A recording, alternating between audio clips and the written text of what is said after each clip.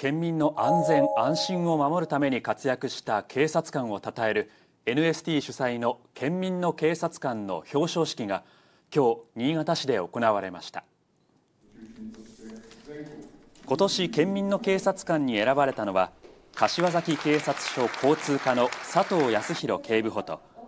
刑事部機動捜査隊長岡分中隊の前山忍警部補です。佐藤警部補は交通管理のエキスパートとして事故のない円滑な交通の実現に貢献。前山警部補は綿密な鑑識活動や初動捜査で事件の解決に尽力し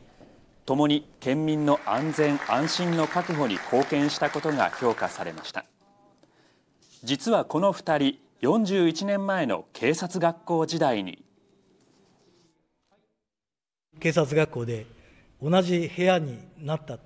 それがまた2人で、えこのような賞をいただけるということで非常に感慨深いものがあります。いろいろ今新しいことにま対応していかなきゃいけないと思うんですけども私としてはま自分の目標に向かって、え地道ではいいですけど一歩一歩進んでもらいたいなと思います。